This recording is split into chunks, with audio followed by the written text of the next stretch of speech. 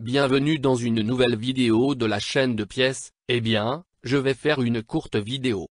Répondant à une question que vous m'avez laissée, si dans tous les véhicules qui ont un turbo, lors du démarrage, de la mise en marche du moteur, de l'actionneur de le turbo doit bouger le turbo.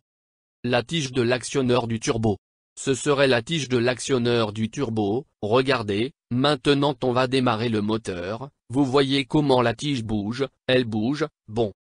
Voyons, dans ce cas, elle est un actionneur de turbo-turbo-pneumatique, puis, la dépression générée dans la pompe à vide au démarrage du moteur, surmonte la résistance du ressort interne, et déplace ainsi la tige, ceci est fait par le moteur de sorte que, dès le démarrage du moteur pour profiter pleinement des gaz d'échappement, soit dans celui-ci à géométrie variable, soit dans ce à géométrie fixe. Dans les seuls où vous n'allez pas voir ce mouvement, ce sera dans ceux qui n'ont pas d'électrovanne, ceux qui utilisent la pression d'air dans la coquille d'admission, des apostrophes.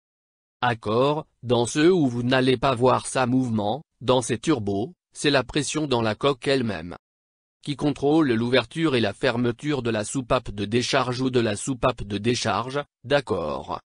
Dans d'autres véhicules qui, au lieu d'avoir cet actionneur de turbo pneumatique, ont un actionneur de turbo électronique, dans ce vous allez aussi voir le mouvement de la bielle pour que le moteur profite des gaz d'échappement dès le départ. Eh bien, j'espère que cette courte vidéo a clarifié tous les doutes et si c'est le cas, n'oubliez pas de donner un like et de vous abonner à la chaîne.